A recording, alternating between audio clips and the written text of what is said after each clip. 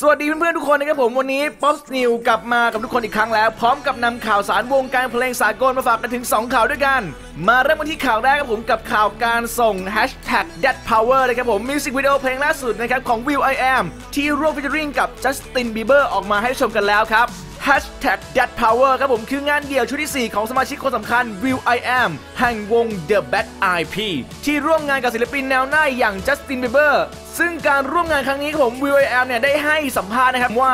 เพิ่งอัดเพลงนี้สดๆร้อนๆนะครับผมในระหว่างงาน Bridge Award แถมยังเอ่ยปากชมได้ว่าจัสตินเนี่ยเป็นคนที่มีพรสวรรค์มากๆเลยครับ ซึ่งทั้งคู่ครับผมได้ถ่ายมิวสิกวิดีโอเพลงนี้เรียบร้อยแล้ว ถ้าพร้อมแล้วชาวป๊อปนิวไปชมกันเลยครับ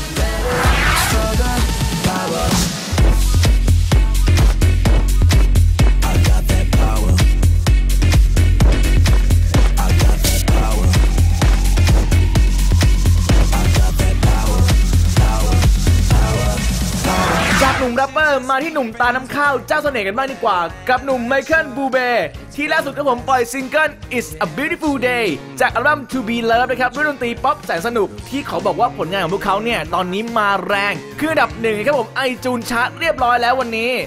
ซึ่งนอกจาก It's a Beautiful Day แล้วยังมีบทเพลงไพเราะที่ยังคงตราตรึงอยู่ในใจคนทั่วโลกมาร้องใหม่ ในสไตล์ของเขาอีกด้วยอาทิ To Love Somebody เพลงฮิตอมตะจากวงเก๋าอย่าง BG และเพลง Something Stupid ที่ได้นักแสดงสาว Reese Witherspoon มาร่วมขับร้องอีกด้วย การันตีความแรงของอัลบั้มนี้ด้วยกันนะครับตั้งแต่เปิดให้สั่งจองอัลบั้มกันแล้ว และกลับมาครองอันดับหนึ่งนะครับอีกครั้งหลังจากเปิดให้ดาวน์โหลดอัลบั้มเต็มครับ It's a beautiful day to send this out. The music's playing, and if it